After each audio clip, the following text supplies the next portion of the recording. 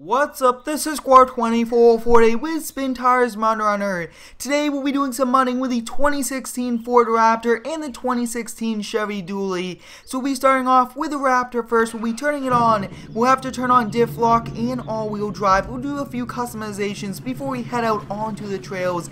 And I'm very excited that mods are coming out for the game this early on, which should be pretty cool. We'll get a light bar, roll bar, a few other things like that. And I think that we won't get the shell but we'll take a look. We'll definitely get that spare tire, so take a look at that, guys. This is one very nice looking Raptor. Looks like we do have some spares in the back and some extra gas, which is pretty cool, but overall, this is one very cool truck. So we'll kind of back up here, and we'll be heading out, and I'd like to thank you all for the continued support on this new series. I really did like uh, Spin Tires. We'll be featuring a few more of those, but Spin Tires Mud Runner is a new version, and this Ford Raptor is going right through the roads and right over the branches like it's nothing. We are getting some damage to the undercarriage, which we should be pretty careful about, but you guys can see that. This has a lot of horsepower, and a Ford Raptor is one epic truck, so I mean, it's a pretty good truck for off-roading, and we just crashed into a tree. Not the best thing to do with a brand new truck. We'll kind of back up here and kind of go around.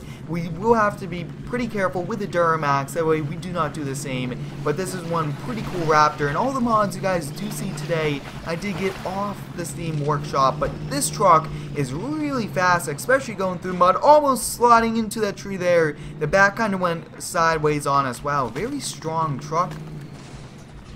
If you do have any cool truck ideas, let me know down below in the comments. And let's see, is there another camera view? Looks like, uh, click here for cockpit view. Take a look at this. This looks to be like a custom uh, interior view, which is actually pretty interesting. We'll kind of switch back out of that, and this truck is a very efficient vehicle. Maybe we could do some hauling logs with this, but the dirt's flying everywhere, mud going all over the place, and driving off the course once again. We'll have to back up here and you guys can see that the front end of this truck definitely needs to be repaired and we are actually coming pretty close to the damage which isn't that good and I always try to be realistic in these games but it looks like this vehicle is just way too fast for us and uh, it looks like we are getting back onto a trail right here Awesome, so we kind of are back on some drier ground. We are getting a lot of damage to the undercarriage, which we have to watch out for. But I think that's pretty much going to be it for this truck. We'll turn off everything and turn it off just in case we need to use it to winch the other one out. So next up, we'll switch over here to the uh, Chevy Duramax. You guys can see that it comes without the bed, but I thought it would be pretty cool to use it with the bed. We'll be turning it on. We'll do a few customizations before we head out. We'll turn on the all-wheel drive and diff lock. I mean, this is one pretty cool truck. I really do like it lot. So it looks like we can get a headache rack, about a few lights, and I think we'll just get a few tools. So as you guys can see, we got the lights, the tools, everything like that. And I think for this one, we'll kind of head down the other direction, kind of see what's down here. And it looks like both of these trucks are very fast trucks, very tall. It looked like the Raptor was lifted, and this one definitely has a lift kit on it, which does also help out with the ground clearance and the overall handling of the truck in mud.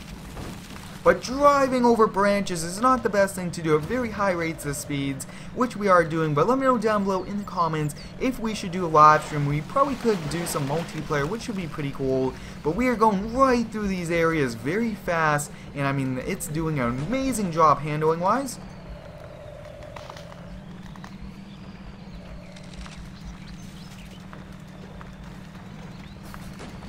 Take a look at that, guys. We are coming by a log cabin, but we'll continue. The back of this truck going sideways on us. And there we go, guys. We crashed into a tree today. So that means we uh, kind of damaged both our trucks just because, I mean, we're driving pretty fast with them. And we'll definitely have to be as realistic as we can in the coming videos. But I thought today was very cool, and I'm very excited that we are getting awesome mods in the game. So we just kind of drove through, got this truck pretty clean, and we are still flying through the uh, trails.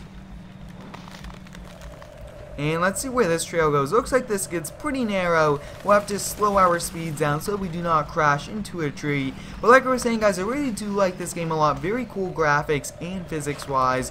And overall, take a look at that, guys. The front of this truck is completely destroyed. The front axle is uh, kind of stuck in the mud, but we were able to get with the four-wheel drive. I mean, that's just awesome how you could get yourself out, everything like that. But I think we'll be calling it a day here. Hope you guys enjoyed our first video in Spin Tires Mud Runner with mods. Thanks for watching, have a great day, and subscribe for more!